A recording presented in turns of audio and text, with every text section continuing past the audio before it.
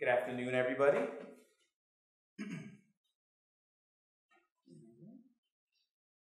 so, today we'll be continuing our sermon in the book of Galatians. So, a couple weeks ago, when I stood up here, I started by giving you or teaching through the first nine verses. Today, we'll continue on the first chapter of the book of Galatians, and we will actually complete the first chapter today.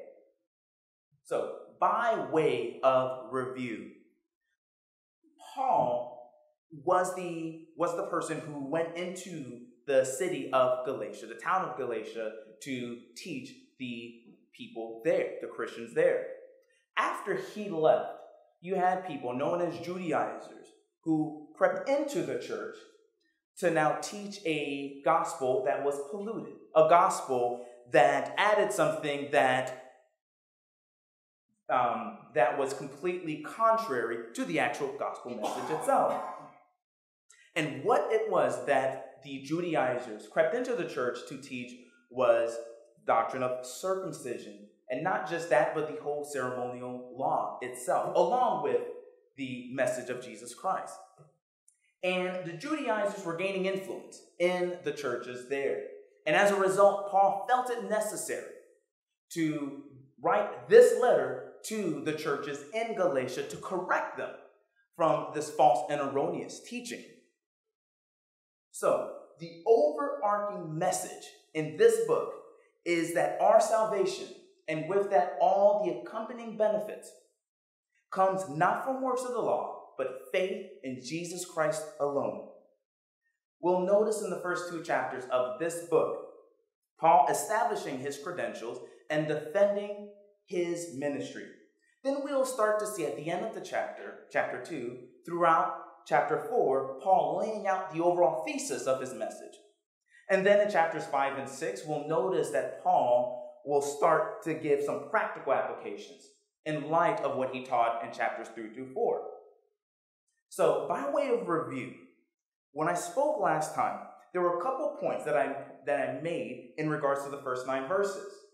And I'd like to go over that before we dive into the next section here. The first point that I, the first thing that I would like to point out to you, if you recall, was in the first few verses, chapter, verses 1 and 2, where Paul mentioned that he was an apostle, not sent from man nor through the agency of man.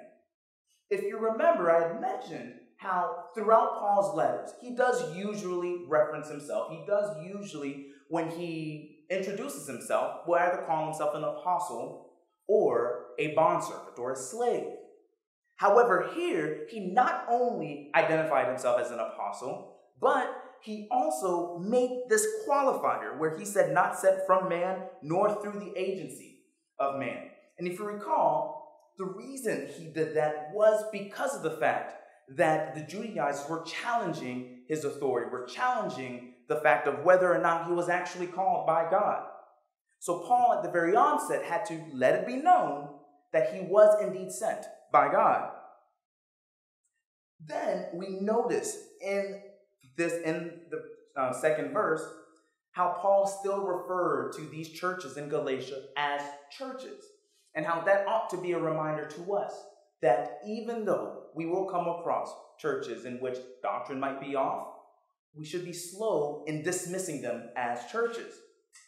Then we also notice in verse 6 how quickly these Galatian Christians strayed away from the gospel truth and how we ought to be careful to not do as much, to be diligent in the things that we are taught so that we don't stray away whenever false teaching comes about. And then we see Paul in verses 7 through 9 remind us how there is only one true gospel message. And anyone who preaches any other message is not te- preaching the gospel message, but a false gospel. And then we see also in this passage how God deals, or how Paul deals with the flock versus how he deals with the wolves. How gentle he was in his speech to the sheep, but how vicious he was in his in the words that he uses for the wolves, the people that came into the church to teach these false doctrines. So, Paul spends the rest of this chapter defending his ministry. Why is that? Why did Paul find it necessary for him to do this very thing? Because he realized that his work with the Galatians, in particular, his influence, depended on his credibility. Douglas Moo tells us this The truth of the gospel is Paul's focus in this section, but the Galatians received the gospel from Paul. And so, to have confidence in the gospel, they must also have confidence in the messenger who proclaimed that gospel to them. The truth of the gospel and Paul's credentials as an authoritative messenger of that gospel are therefore woven together in this part of the letter. I am sure Paul more than likely would have loved to dive right into the thesis of his letter. But the reality is that if the Galatians saw him as an impostor or as someone who was taught all he knew by the apostles, like the Judaizers claimed, and was now running counter to them, then this letter would have been ignored. We would like for any ideological fight, especially us in the conservative camp, to be merely a battle of ideas. However, much of the time, if a person can be discredited, the idea is never dealt with. So while it is best to argue ideas, oftentimes a person has to first defend themselves in order to properly deal and argue for ideas. I remember earlier this morning, I was watching a docu-series about the 90s, and in one of the episodes, it chronicled the O.J. Simpson trial, which was a trial that took place when I was pretty, pretty young. I mean, quite frankly, the only thing I really remembered, honestly, was being mad that they that they cut to the famous Bronco scene as I was watching Family Matters. But the reason I bring this up was as I was watching this docu series and they were chronicling the O.J. Simpson trial, what was interesting was that the attorneys had evidences stacked against O.J. Simpson. But the defense attorneys, Johnnie Cochran and, and the crew, what they did was they sought to discredit one of the police officers who, um, who arrested O.J. Simpson by making by painting him as a racist itself, and it worked. O.J. Simpson was acquitted, not because of the facts of the case, but because they were able to discredit one of the police officers that arrested O.J. Simpson. So, in the same way, oftentimes, as I mentioned, we would love just to be able to argue for our ideas, but oftentimes we first have to defend ourselves, and this is what Paul is doing here. He's laying out the defense for himself because if he doesn't do that, then everything that he'll say will now fall on deaf ears. So, with that said, let's read Galatians chapter 1. We'll start on verse 10 and we'll go through the end of the chapter uh, 24. 4. Am I now seeking the favor of men or of God? Or am I striving to please men? If I were still trying to please men, I would not be a bondservant of Christ. For I would have you know, brethren, that the gospel which was preached by me is not according to man. For I neither received it from man, nor was I taught it, but I received it through a revelation of Jesus Christ. For you have heard of my former manner of life in Judaism, how I used to persecute the church of God beyond measure and try to destroy it. And I was advancing in Judaism beyond many of my contemporaries among my countrymen, being more extremely zealous for my ancestral traditions. But when God, who had set me apart, even from my mother's womb, and called me through his grace, was pleased to reveal his Son in me, so that I might preach him among the Gentiles, I did not immediately consult with flesh and blood. Nor did I go up to Jerusalem to those who were apostles before me, but I went away to Arabia and returned once more to Damascus. Then three years later, I went up to Jerusalem to be acquainted with Cephas and stayed with him 15 days. But I did not see any other of the apostles except James, the Lord's brother. Now, in what I am writing to you, I assure you before God that I am not lying. Then I went into the regions of Syria and Cilicia. I was still un- unknown by sight to the churches of Judea, which were in Christ, but only they kept hearing. He who once persecuted us is now preaching the faith he once tried to destroy. And they were glorifying God because of me.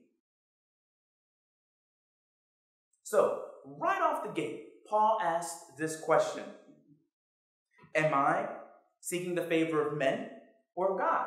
Am I seeking to please man or am I seeking to please God? Paul, in his call to the ministry and teaching of a doctrine that humbled men and glorified God, he wasn't the one that was seeking to curry favor with men. Paul says as such in Galatians chapter 5 verse 11 when he says, "But I, brethren, if I still preach circumcision, why am I still being persecuted? Then the stumbling block of the cross has been abolished." Though the Judaizers were seeking to slander Paul, making it seem as though Paul was the one who was the man pleaser, in reality, it was their doctrine of circumcision and law keeping that was more man pleasing. Paul tells us this in Galatians chapter 6, verses 12 through 14. Paul says, Those who desire to make a good showing in the flesh try to compel you to be circumcised, simply so that they will not be persecuted for the cross of Christ. For those who are circumcised do not even keep the law themselves, but they desire to have you circumcised so that they may boast in your flesh. But may it never be that I would boast except in the cross of our Lord Jesus Christ, through which the world has been crucified to me and I to the world. So it was the Judaizers who were really the people pleasers, not Paul. And again, we see in another letter that Paul wrote to Titus. In Titus 1 10 through 11, Paul says, For there are many rebellious men, empty talkers and deceivers, especially those of the circumcision, who must be silenced because they are upsetting whole families, teaching things they should not teach for the sake of sordid gain. See, it was the Judaizers, not Paul, who sought to gain the affections of men by the doctrines that they taught. Paul, on the other hand, he suffered much for the gospel that he preached. Paul reminds us of this in 2 Corinthians, chapter 11, verses 23 to 28. Listen to the things that Paul went through. Are they servants of Christ? I speak as if insane. I more so, in far more labors, in far more imprisonments, beaten times without number, often in danger of death.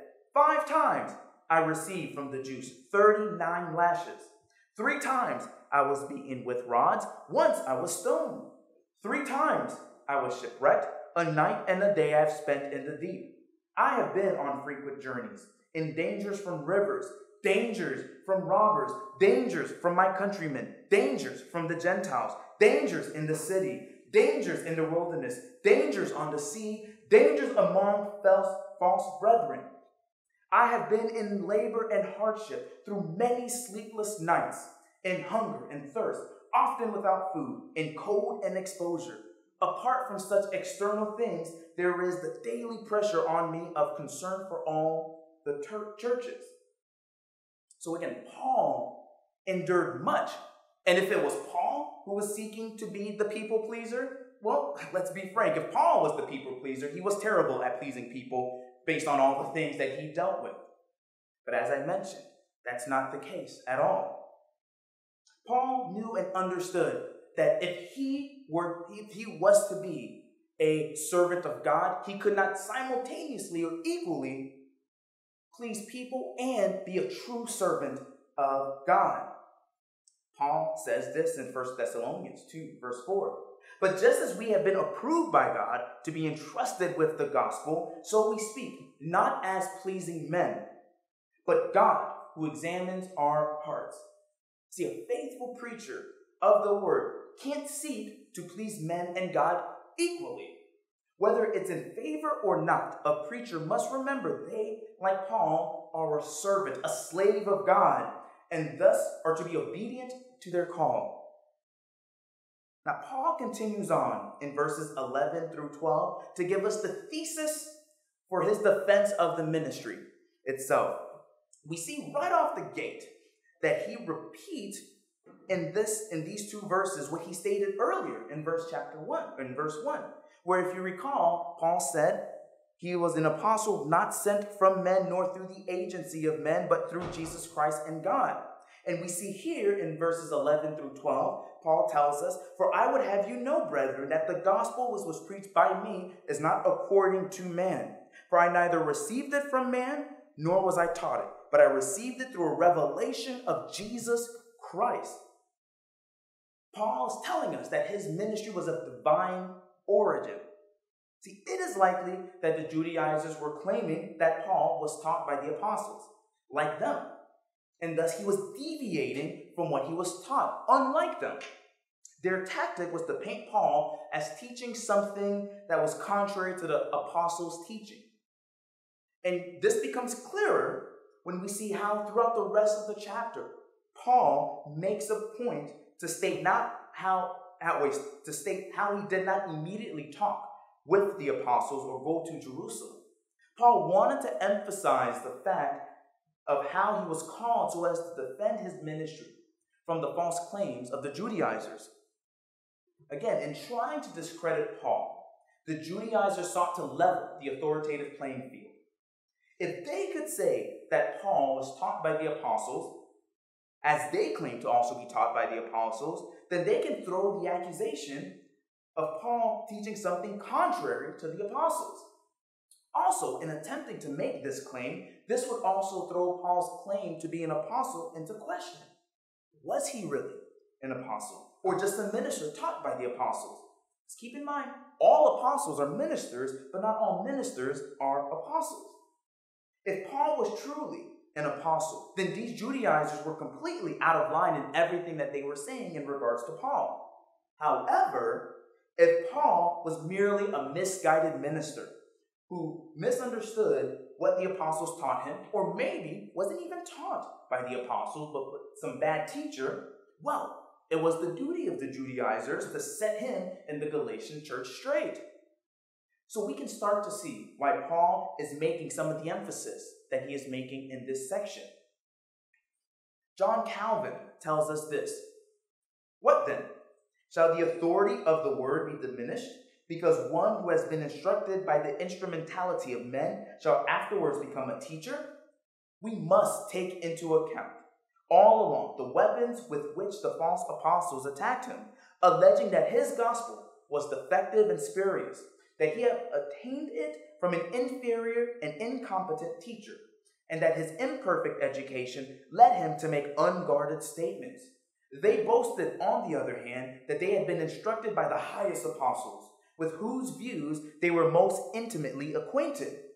It was therefore necessary that Paul should state his doctrine in opposition to the whole world and should rest it on this ground that he had acquired it not in the school of any man, but by revelation from God. In no other way could he have set aside the reproaches of the false apostles. Continuing on, we see in verses 13 through 14, Paul highlighting his life prior to his conversion. We see, Paul tells us this For you have heard of my former manner of life in Judaism, how I used to persecute the church of God beyond measure and try to destroy it. And I was advancing in Judaism beyond many of my contemporaries among my countrymen being more extremely zealous for my ancestral traditions. In defending his call to apostleship, he reminds the Galatians of who he was prior to his conversion. Now we can see who he was, we can see an account of that in the book of Acts. If we look at Acts chapter 8, verses 1 through 3, we see Luke telling us this Saul was in hearty agreement with putting Stephen to death. And on that day, a great persecution began against the church in Jerusalem. And they were all scattered throughout the regions of Judea and Samaria, except the apostles. Some devout men buried Stephen and made loud lamentation over him. But Saul began ravaging the church, entering house after house and dragging off men and women. He would put them in prison. And then we see Paul give us um, some more account in regard to his life prior to his conversion as he was speaking with Agrippa in Acts chapter 29, verses 9 through 11. Paul tells Agrippa this So then, I thought to myself that I had to do many things hostile to the name of Jesus of Nazareth. And this is just what I did in Jerusalem. Not only did I lock up many of the saints in prisons, having received authority from the chief priests, but also when they were being put to death, I cast my vote against them. And as I punished them, often in all the synagogues, I tried to force them to blaspheme. And being furiously engaged at them, I kept pursuing them even to foreign cities. So, Paul was not a friend of Christianity prior to his conversion, prior to his salvation. On top of that, not only was Paul a persecutor of the church, Paul was a Pharisee. And he reminds us of this in another epistle that he wrote to the Philippian church. In Philippians chapter 3, verses 5 through 6, Paul says, Circumcised the eighth day of the nation of Israel, of the tribe of Benjamin, a Hebrew of Hebrews, as to the law, a Pharisee, as to zeal, a persecutor of the church, as to the righteousness which is in the law, found blameless. So, we can see from these passages of Scripture that Paul was not a person who was seeking out the truth of this supposed Messiah. He was grooming himself to be a great Jewish defender and not the great Christian defender God called him to be. All of this is important to recount because if Paul had not truly been changed by Christ on that road to Damascus, this doctrine in particular that the Judaizers were propagating that taught the upholding of the Jewish ceremonial law would have been something that Paul, if he were willing to accept the claims of Jesus being the Messiah, would have most likely gravitated towards because it advocated the keeping of the law, something that he was zealous to do in his former life as a Pharisee and a persecutor of the church. After Paul recounts his life prior to his conversion, then he reminds them of his conversion, of that miraculous conversion on the road to Damascus. Verses 15 through 16 of Galatians, chapter 1, he says, But when God, who had set me apart even from my mother's womb and called me through his grace, was pleased to reveal his Son in me so that I might preach him among the Gentiles I did not immediately consult with flesh and blood. Verse 17, nor did I go up to Jerusalem to those who were apostles before me, but I went away to Arabia and returned once more to Damascus. So, right off the right off the gate in verse 15, when Paul says, "When God who had set me apart even from my mother's womb," Paul borrows from the language of the prophet Jeremiah in Jeremiah chapter 1, verse 5, when Jeremiah, in his call to ministry, said, or in verse 1 or chapter 1 says, Before I formed you in the womb, I knew you, and before you were born, I consecrated you. I have appointed you a prophet to the nations. Paul was a Calvinist. Paul understood that God had appointed him to this ministry before the foundations of the world, and Paul says as such in chapter in verse 15. It set me apart even from my mother's womb.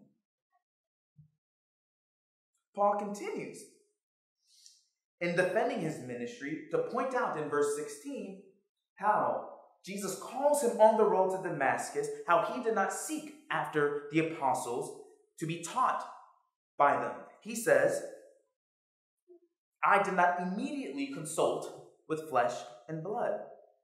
But before we dive into that, I, I want for us to recount and remember this miraculous conversion of Paul.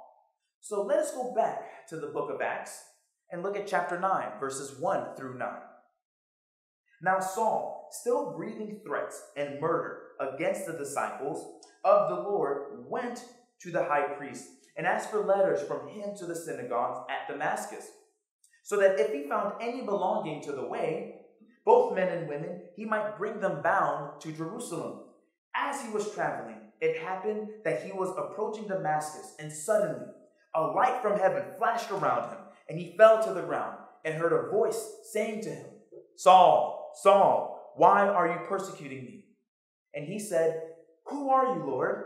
And he said, I am Jesus, whom you are persecuting. But get up and enter the city and it will be told you what you must do. The men who traveled with him stood speechless. Hearing the voice, but seeing no one, Saul got up from the ground, and though his eyes were open, he could see nothing. And leading him by the hand, they brought him into Damascus. And he was three days without sight, and neither ate or drank. So, we see here in this passage this miraculous calling of Paul, how he was on the way to persecute the Christians, and God, on the way to Damascus, called him into the ministry. Now, I think this is particularly important for us to remember because, in particular, this office of apostle is a unique office. It's an office in which God directly calls those to that office itself. We see prior to Jesus' crucifixion, while he dwelt on the earth, Jesus called the original 12 apostles Peter, Andrew, James, John, Philip, Bartholomew, Thomas, Matthew, the other James. That is Simon and, of course, the betrayer Judas Iscariot. And we see post crucifixion and ascension Jesus calling Paul as he was headed to Damascus to persecute the Christians. That is why in 1 Corinthians chapter 15 verse 8 Paul refers to himself as an apostle untimely born. So, like the other apostles, Paul's call came directly from Jesus Christ himself.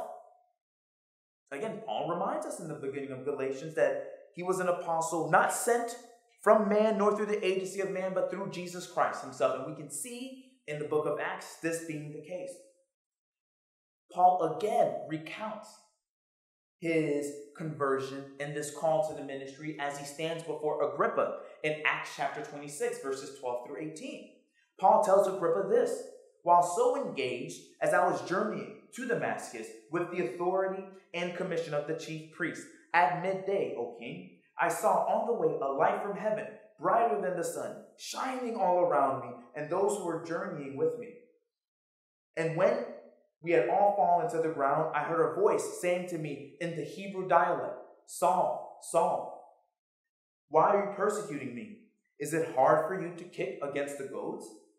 And I said, Who are you, Lord? And the Lord said, I am Jesus, whom you are persecuting. But get up and stand on your feet. For this purpose I have appeared to you, to appoint you a minister and a witness, not only to the things which you have seen, but also to the things in which I will appear to you, rescuing you from the Jewish people and from the Gentiles to whom I am sending you, to open their eyes so that they may turn from darkness to light and from the dominion of Satan to God, that they may receive forgiveness of sins and an inheritance among those who have been sanctified by faith in me. So again, we see in this passage this calling to this apostleship directly by Jesus Christ himself. Not from man, but by God himself. Verse 16, again, I mentioned that he says that he did not immediately consult with flesh and blood. Now, this term flesh and blood is an idiom for man. Basically, what he means is that he did not immediately consult with man. Now, at first glance, this seems to contradict the narrative we get when we continue to read Acts chapter 9, starting in verse 10. So let's read that 10 through 19. Now, there was a disciple at Damascus named, named Ananias, and the Lord said to him in a vision, Ananias. And he said, Here I am, Lord. And the Lord said to him, Get up and go to the street called Straight and inquire at the house of Judas for a man from Tarsus named Saul, for he is praying, and he has seen in a vision a man named Ananias come in and lay his hands on him, so that he might regain his sight. But Ananias answered, Lord, I've heard from many about this man, how, how much harm he did to your saints at Jerusalem. And here he has authority from the chief priest to bind all who call on your name. But the Lord said to him, Go, for he is a chosen instrument of mine, to bear my name before the Gentiles and kings and the sons of Israel. For I will show him how much he must suffer for my name's sake. So Ananias departed and entered the house, and after laying his hands on him, said, Brother Saul, the Lord Jesus, who appeared to you on the road by which you were coming, has sent me so that you may regain your sight and be filled with the Holy Spirit. And immediately there fell from his eyes something like scales, and he regained his sight. And he got up and was baptized. And he took food and was strengthened. Now, for several days, he was with the disciples who were at Damascus. So we see here in this passage, it says that after all of this took place, for several days he was with the disciples who were at Damascus. But then Paul says in Galatians 1:16 that he did not immediately consult with flesh and blood. So was Paul lying here when he said he did not consult with men? The reason I bring this up is because it's passages like this that people who deny the faith, skeptics, atheists, non Christians, will use to try and make it seem as though the Bible is contradicting them itself. And the reality of the fact is, that's not the case at all. Paul was not lying when he said he did not immediately consult with men, because what he meant was not what so many people might assume. If we remember, the general, the general argument that Paul has been making up to this point is that his doctrine is not one that was influenced by any man, but was revealed to him by Jesus. So, when he says he did not consult with men, he means that he was not taught by the apostles. Or, in other words, Paul is saying that after his conversion and call, he did not seek anyone to be instructed by. So, continuing on, we see Paul says in verse 17, Nor did I go up to Jerusalem to those who were apostles before me, but I went away to Arabia and returned once more to Damascus. Now, more than likely, when Paul mentions he went away to Arabia, he is referring to the Nabatean kingdom, which is a Romanized Arabian region which stretched east of Damascus down to the Sinai Peninsula. And if you look on a map, or I guess an ancient map, during the time of Paul, you will see how relatively close that region in Arabia is to Damascus, where Paul was converted. So, continuing on in verses 18 through 21, we see Paul continue to make this defense of his divine ministry. He says, Then three years later, I went up to Jerusalem to be acquainted with Cephas. Now, Cephas is the Aramaic name for Paul, for Peter, excuse me. So he is recounting when, after three years, he went up to see Peter. And stayed with him 15 days. But I did not see any of the other apostles except James, the Lord's brother. Now, in what I am writing to you, I assure you before God that I am not lying. Then I went into the regions of Syria and Cilicia. So, John Calvin has this to say in regards to this passage. Thus, he did not at the outset receive the calling of men. But lest it should be supposed that he had separate interests from theirs, and was desirous to avoid their society, he tells us that he went up for the express purpose to see Peter. Although he had not waited for their sanction before undertaking the office, yet it was not against their will, but with their full consent and approbation that he held the rank of an apostle. He is desirous to show that at no period was he at variance with the apostles, and that even now he is in full harmony with all their views. By mentioning the short time that he remained there, he shows that he had come not with a view to learn, but solely for mutual intercourse. So basically, in this account here that Paul is that Paul is giving, he is mentioning the time that he spent. So even though Paul is spending time demonstrating that he was not instructed by the apostles, he does not want to now have the Galatians think that his teachings are running counter to what the apostles teach. So he recounts this point here where he visits Peter after three years of being in the ministry to show that though the apostles did not teach him, he was still in sync with them. He wasn't running counter to what the apostles were doing.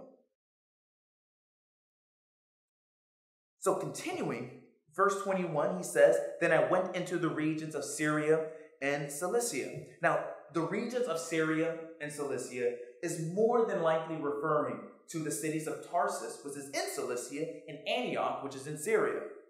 We see from the book of Acts that these were places that Paul visited.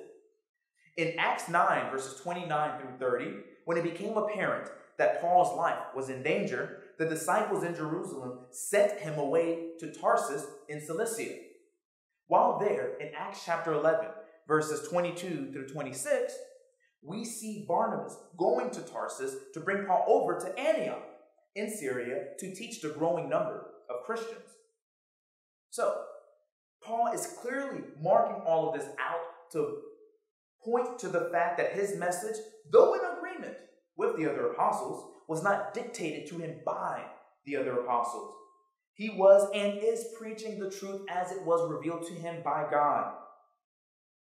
The commentators of the Geneva, Geneva Bible tells us this.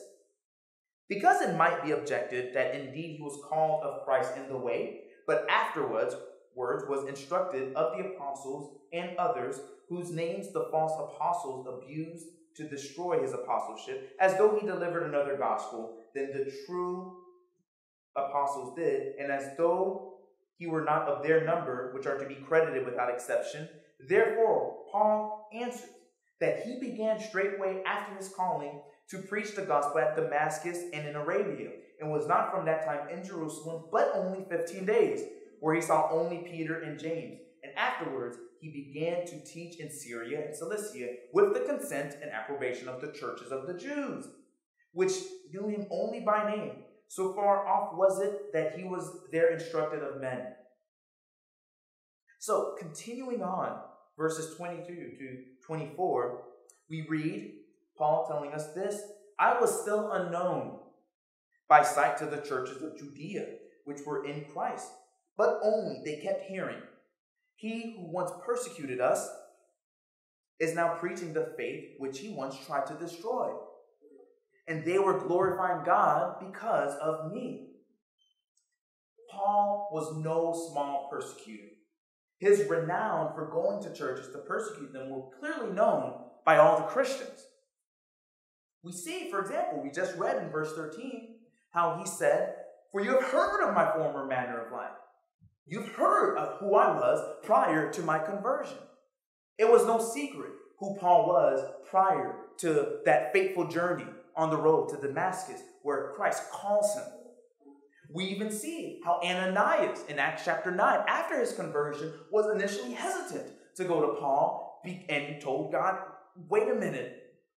I've heard of this guy Saul, and I've heard of what he did to the Christians, how he persecuted them.